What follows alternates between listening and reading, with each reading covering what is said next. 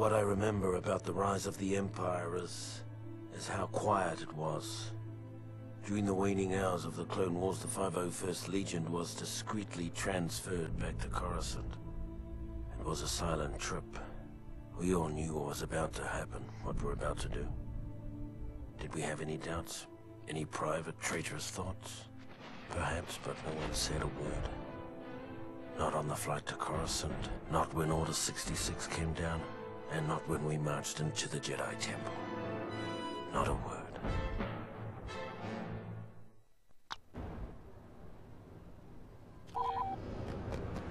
Tonight, the fall of the Jedi is at hand.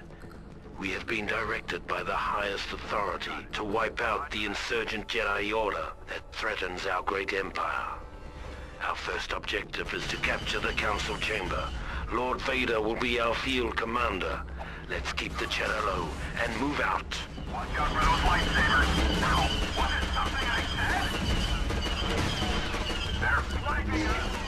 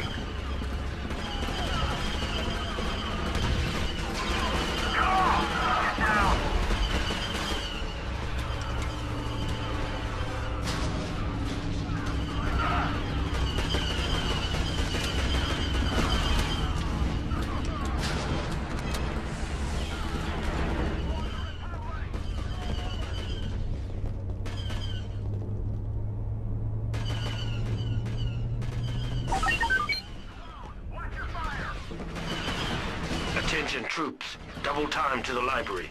The Jedi are attempting to destroy the library's holobox. In direct defiance of command. Stop them.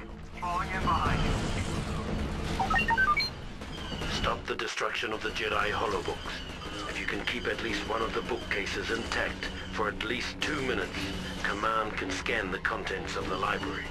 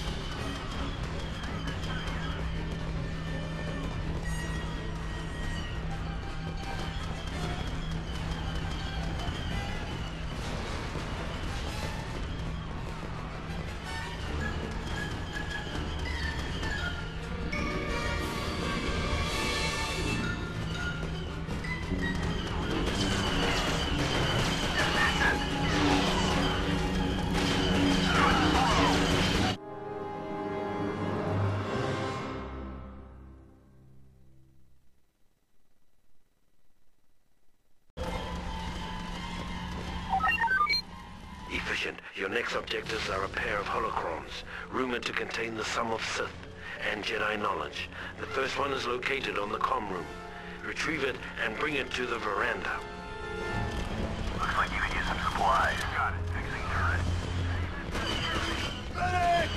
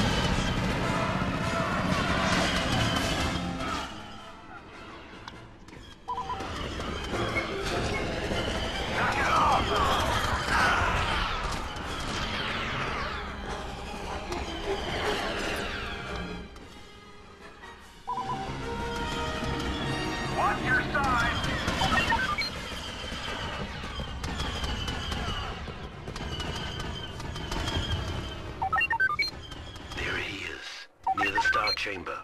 You must defeat this Jedi and bring his holocron to the veranda drop-off point.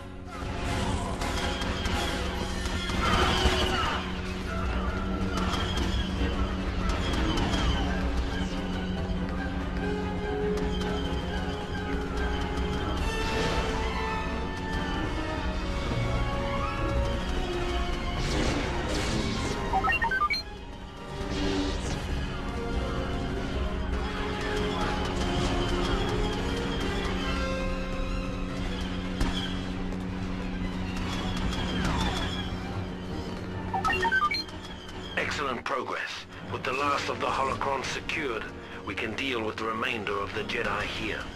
Execute the three Jedi Masters who have poisoned the minds of their impressionable students against the Empire. Let them bear witness to the cost of rebellion. Well done. Our new Emperor will be pleased. Primary mission objectives complete. The Jedi Temple has been secured.